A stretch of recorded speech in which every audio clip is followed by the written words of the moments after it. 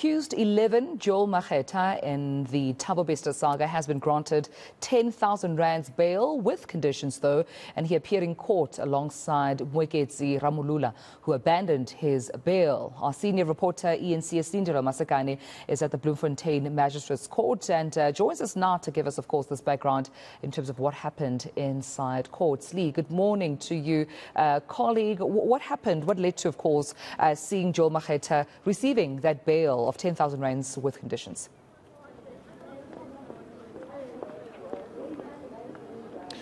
Well, uh, Dumelo, we have just wrapped up here in the Bloemfontein Magistrates Court where accused number 11, that is Joel Makgetha, has just been granted bail uh, to the amount of 10,000 Rand. Uh, any moment from now, uh, we will be seeing him walking out of the Magistrates Court, of course, with some strict bail conditions. Um, those include the fact that he's, he has already uh, handed over his passport. He cannot leave Bloemfontein without in, informing the investigating officer.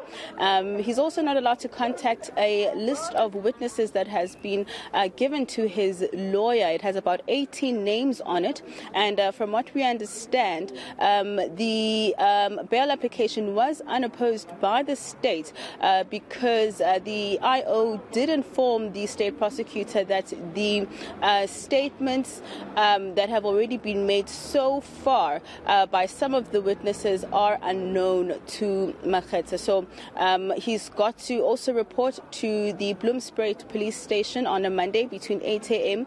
Um, and 4 p.m. and has also been warned that he needs to make each and every appearance um, in connection with this case. Uh, during his application, he did, of course, hand in an affidavit uh, which was read into the record where he detailed his personal circumstances, how he's a father of four children, um, how he's got very strong ties uh, to the Free State and uh, would not evade his trial. But to just give us some reaction, I am joined by a family member, a cousin of Mr. Makgetha.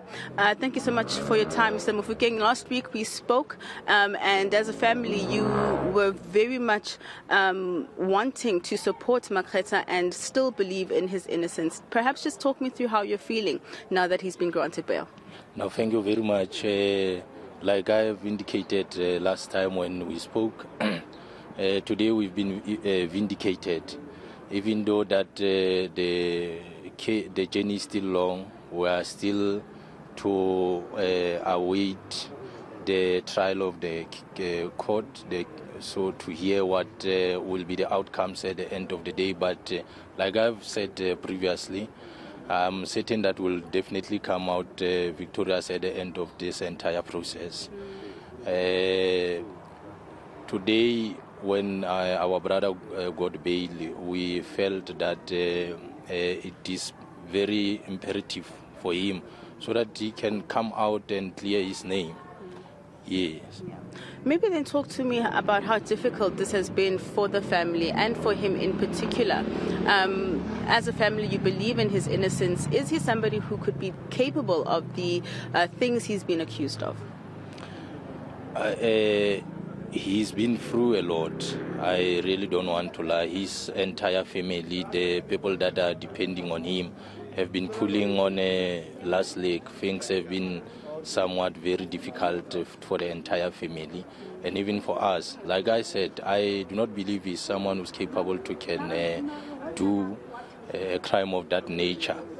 However, we will await all the necessary processes of the court and the investigations to be finalized. But I still maintain the position that uh, we we had uh, previously that uh, he is uh, innocent in all this. Uh, his uh, children have been going through a devastating moment, but I believe that today they will feel very much better that now their father is back home. We also, as the entire family, would be much uh, happier to see to welcome him back. Uh, I, I am I'm very certain that in, as the time goes on, uh, we will all be cleared in this entire thing, particularly him, because uh, this has brought the name of the family into disrepute. But we will, of course, uh, await the, the trial to be finalized. we don't want to uh, put the cult before the horses. Yes, Thank you so much. much appreciated. All right. Well. Uh, that is the cousin to Mr. Joel uh, Makgetha, just giving us the reaction from the family now that he has been granted bail. Makgetha uh, is the seventh person or the seventh suspect in this escape saga um, of the 12 people that have been arrested who has been granted bail. So we will be back uh, here in the Bloemfontein Magistrates Court um, on the 8th of August. Um, the last appearance um, of the accused, the matter was postponed for further investigations.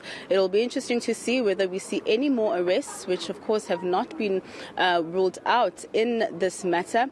Uh, but also quite interestingly, interestingly, Dumelo, during court proceedings, during that bail application, uh, there was a representative from the DPP's office who requested to speak to the state prosecutor in the middle of that bail application. And so we had adjourned for about five minutes.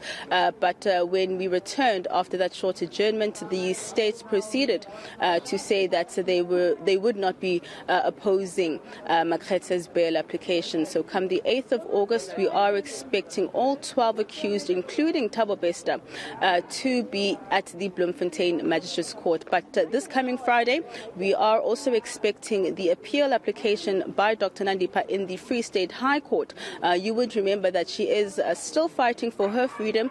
She wants her arrest and deportation from Tanzania to be declared unlawful and set aside. And uh, you would remember that there was a judgment that dismissed her application, and now she has been given a date of Friday uh, to have her appeal application heard. All right, we'll leave it there. Colleague, eNCA's senior reporter, uh, Slindelo Masikane out of the Bloemfontein Magistrates Court is at the back, of course, of uh, Joel Makgetha receiving 10,000 rands bail, being charged uh, with aiding and abetting and assisting a convict to escape from prison.